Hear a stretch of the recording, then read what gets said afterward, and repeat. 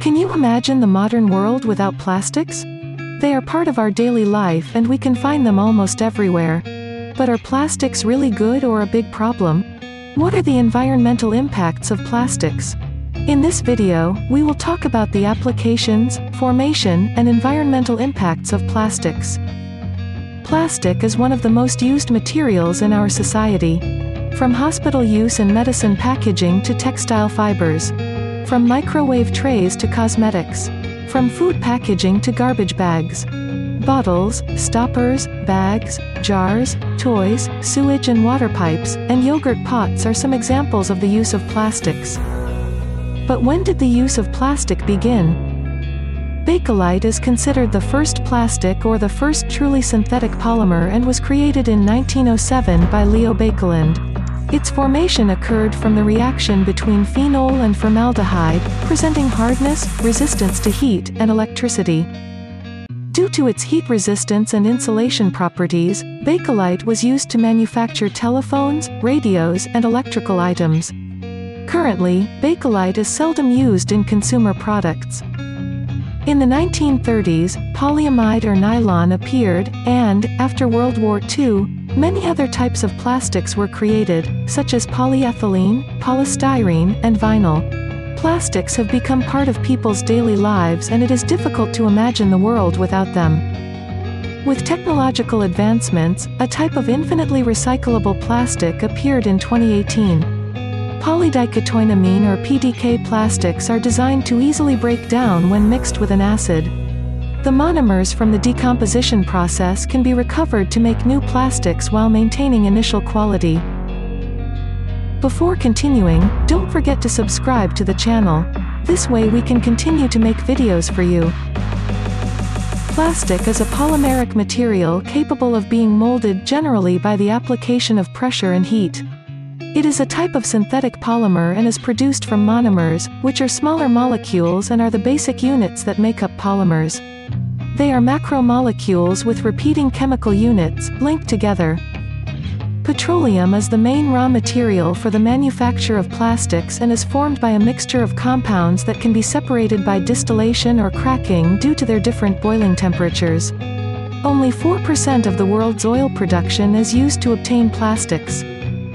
Plastic can also be produced from sugarcane, obtaining 100% reusable and recyclable plastic, and from starch, but the plastic obtained is biodegradable, but not recyclable. The formation of plastic can be represented by the generic equation of the chemical union of monomers that originate the polymers.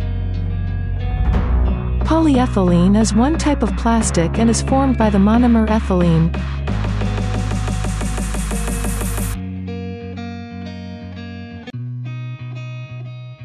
Polypropylene is another type of plastic and is formed by the monomer propylene.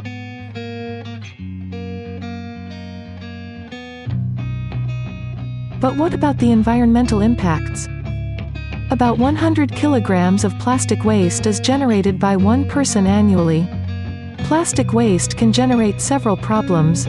During its use, durability and resistance are an advantage but after discarding it becomes a problem. The degradation process of plastic in the environment is very slow, taking more than 100 years. This is due to its resistance to bacteria and fungi. The volume of waste generated from plastic is large and difficult to compact. Microplastics are also a problem. They are small pieces of plastic. Its size is less than 5 millimeters. This size can be reached by degradation or they may already be this size.